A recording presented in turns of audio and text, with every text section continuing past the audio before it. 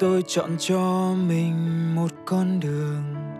Hy vọng sao lòng mình kiên cường, mong vượt qua gian khó muôn phương, cho ngày mai chắp cánh yêu thương. Nay về đây trở lại nơi này sao xa cách này ta xuống vầy nghe tình yêu hạnh phúc dâng đầy những mê say.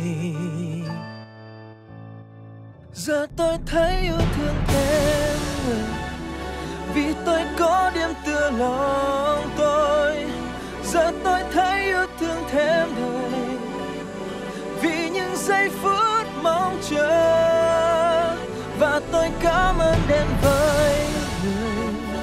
Cho tôi thấy nơi đâu bình yên, và tôi cảm ơn đến cuộc đời cho tôi xây đắp ước mơ, giờ tôi thấy yêu thương, giờ tôi thấy